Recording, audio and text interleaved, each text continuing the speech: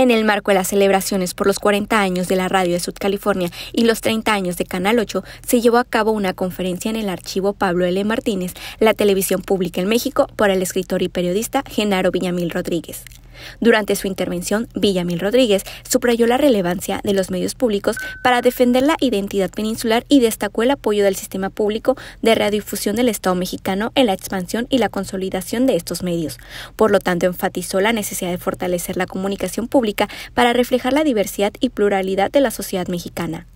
Van a coexistir, pero la enorme responsabilidad que tenemos ahora los productores, conductores, conductoras, reporteros, reporteras, camarógrafos de los medios que son públicos es responderle al reclamo de las audiencias de tener medios dignos que den información creíble, que le hagan y le den voz a los ciudadanos, no a unos ciudadanos, sino a todos los ciudadanos. No a unos intelectuales, sino a todos los que tienen trabajo académico, intelectual en todas partes del país.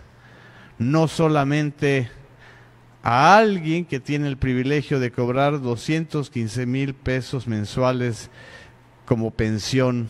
En su discurso, Villamil Rodríguez recordó el contexto histórico en que se llevó a la creación del sistema público de radiodifusión del Estado mexicano, resaltando la importancia de este proyecto en contraposición a la homogénea mediática de empresas privadas. Además, destacó el compromiso del gobierno actual en fortalecer los medios públicos como una herramienta para la democratización de la información y la promoción de la diversidad cultural.